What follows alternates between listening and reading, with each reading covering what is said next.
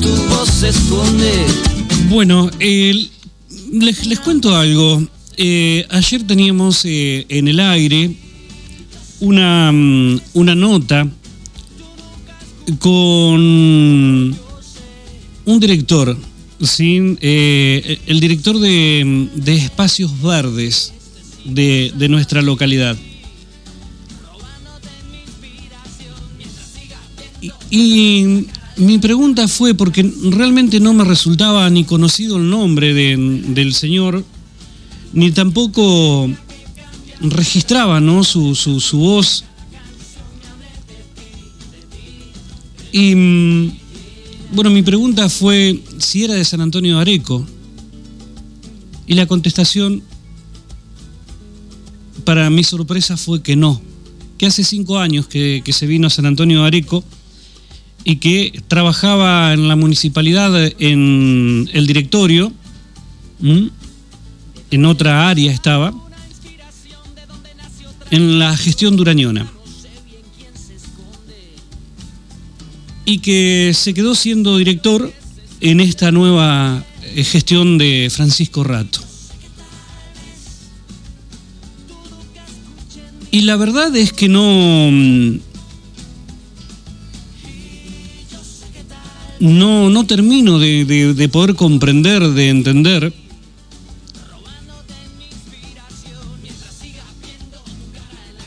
qué es lo, cuál es el pacto ¿no? de, gobierno, de, gobernabili- de, de- de poder gobernar.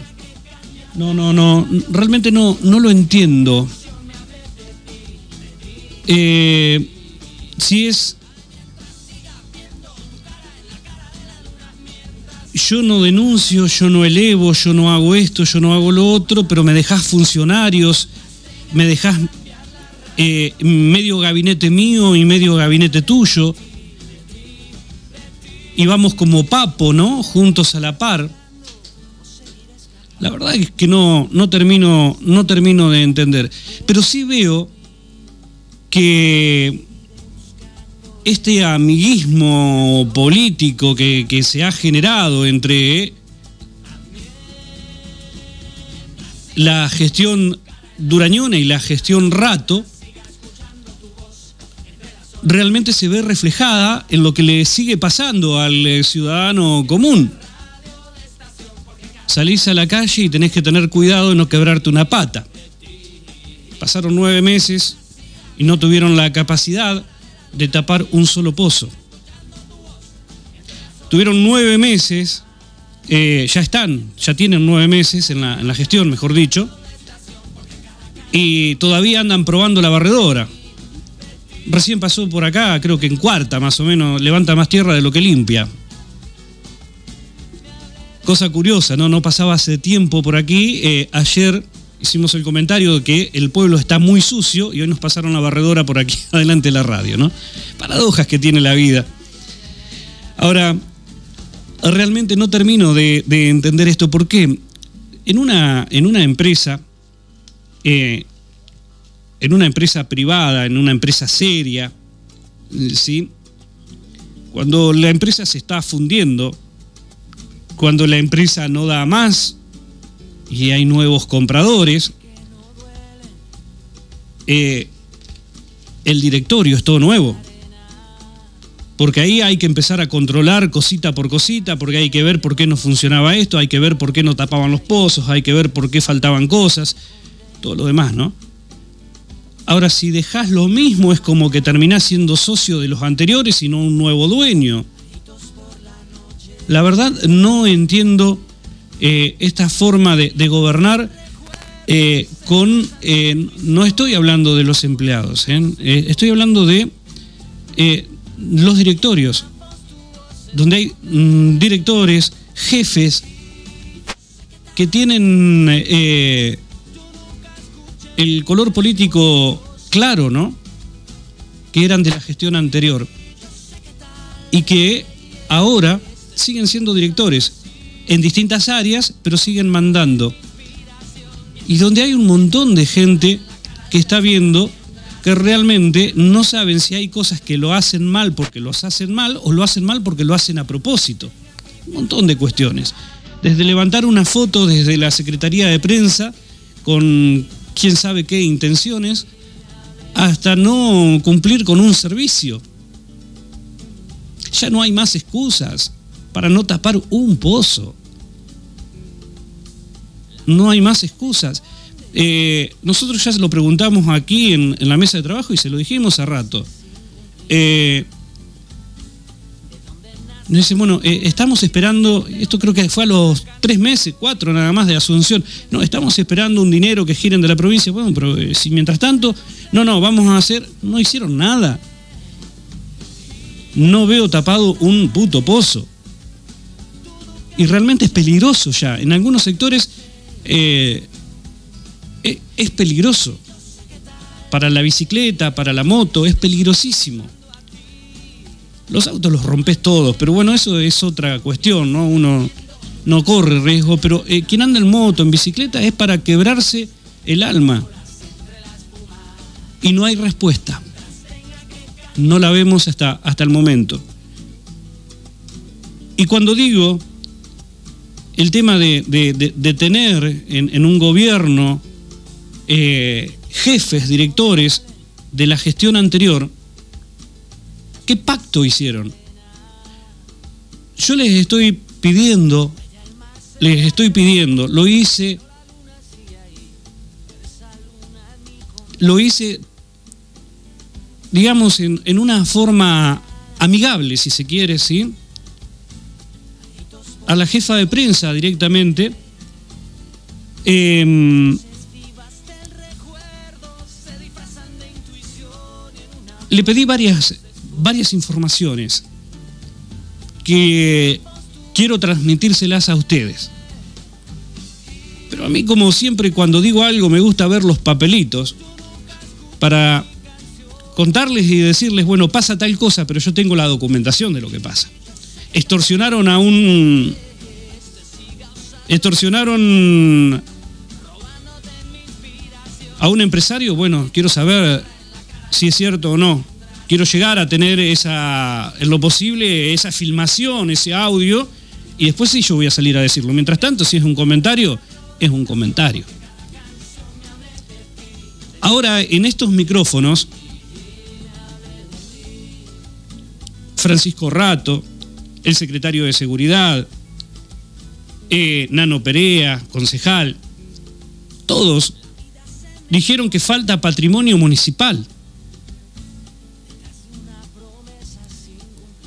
Hablaron de celulares, hablaron de handy. Algunos se animó a decir monitores, computadora, otros que escritorios, hasta una bandera desde la comisaría. Bueno, un montón de cosas.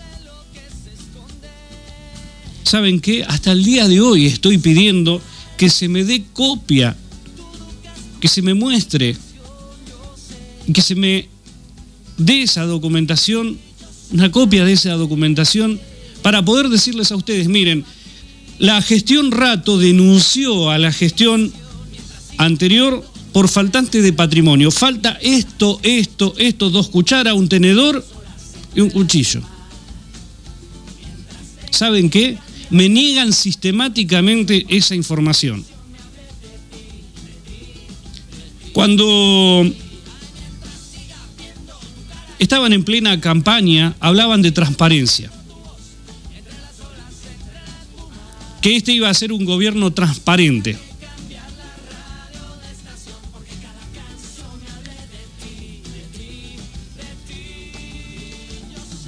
A los cuatro o cinco meses de, este gobierno solicité por nota, por escrito, a la jefatura de prensa de la municipalidad que se me se me dijera cómo está conformado el Ejecutivo, porque quería saber quién es el secretario, quién es eh, en cada área, qué director hay, qué secretario del secretario del que se va mate, porque no quería ver si seguimos con la misma cantaleta, ¿me entiende? En definitiva, después, todas esas personas son las que garpamos nosotros, las que pagan todos. Quería saber eso. Y además, como había un comentario, ¿sí? de que ya fue de público conocimiento, por eso lo digo como comentario, de que, que Amadeo se le pagaba el combustible, de que se le daban no sé cuántos litros de combustible, que allá, que acá. Bueno, ¿saben qué? Lo pregunté por nota. Para que me dijeran, se le dan 100 litros de nasta, se le, da, mm, se le dan vales, se le da esto, pone el auto por tal y tal cosa. ¿Saben qué? Jamás me lo contestaron. De hecho, me rechazaron esa nota. Entonces, ¿qué es lo que dije, no? Y pensé, bueno, esto es más de lo mismo, o peor, porque al menos mucha de la información que nosotros emitimos aquí y que le contamos a la audiencia de la gestión anterior, llámese los pianitos, llámese las rejas del polideportivo y un montón de cosas más que fuimos denunciando de sobreprecio, estaban publicadas en el boletín oficial. O sea, eh, el gobierno anterior decía, compramos esto y lo pagamos 10 millones de pesos porque se nos cantó el culo, pero estaba publicado. A este gobierno le pregunto, ¿cuánto cobra Miguel Amadeo? Y no me lo dice.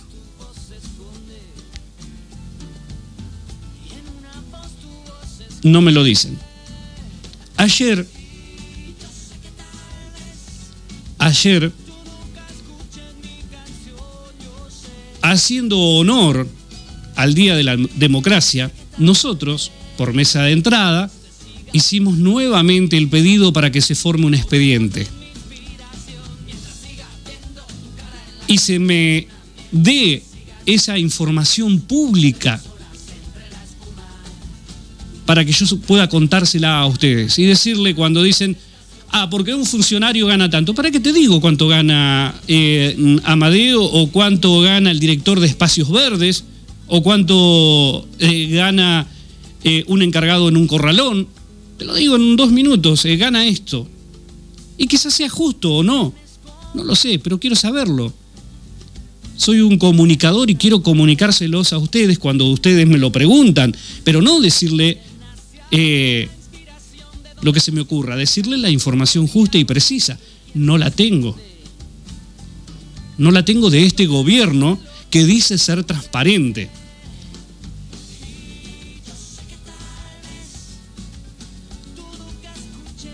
Miren, también quise quise saber qué pasó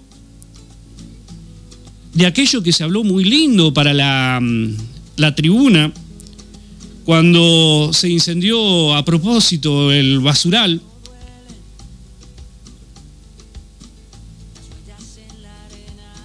y donde se decía que se iba a llegar hasta las últimas consecuencias y que se había identificado las personas y que allá y que acá y que esto que el otro. Bueno, quise saber también ¿En qué está? ¿En qué estado está todo esto? Ni bola. Ni bola.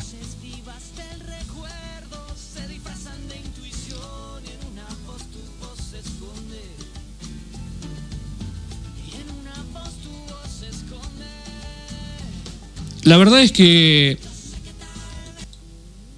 no sé qué, van a contestar o qué van a decir pero es esta la, situación y, nosotros queremos contárselo a ustedes. Porque también nos decían, che, no hablan más, no se quejan más de esto, no se quejan más de lo otro, no, aquello. No, nosotros venimos pidiendo permanentemente y no tenemos. No tenemos la información.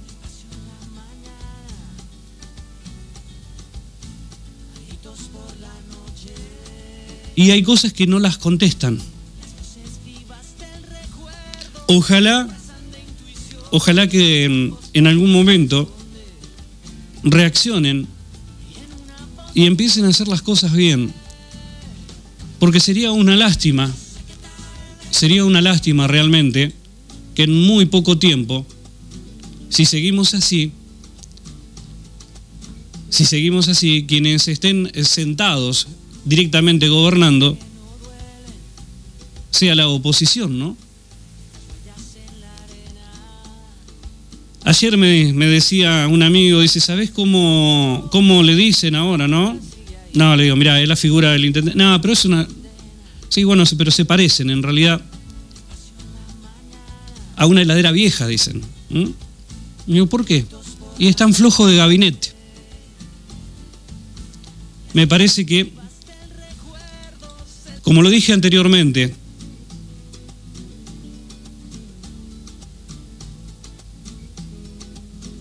tenemos un montón de gente no útil que rodea a Francisco Rato.